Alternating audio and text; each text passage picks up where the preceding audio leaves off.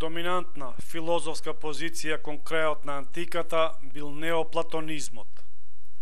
Последниот оригинален антички филозоф бил Плотин, живеел од 204 до 270 година.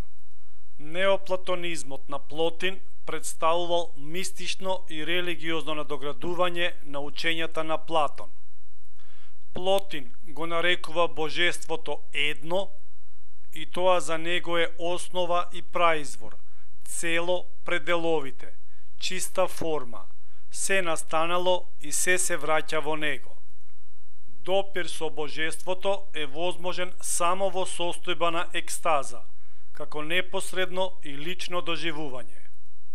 Едното, божеството, не создава, тоа излева од себе, свети како што сонцето е шири светлината – Тоа е еманација. Од едното се еманираат хипостази, форми на суштествувањето. Прво се хипостезира ум, кој е причина и образец на светот. Умот, како дух со идеите, определува што и какви ќе бидат единечните предмети. Втората хипостаза е космичката душа, што е меѓу духот, умот и светот. Третата хипостаза е материјата. Кога еманацијата најмногу ке се оддалечи од праизворот, представува нешто слично на небитие. Таа е зло. Падот надолу се одвива последниот редослед. Духовите, човекот со телото, другите суштества и предметите. Патот нагоре е обратен. Изразува различни форми и степени на сознание.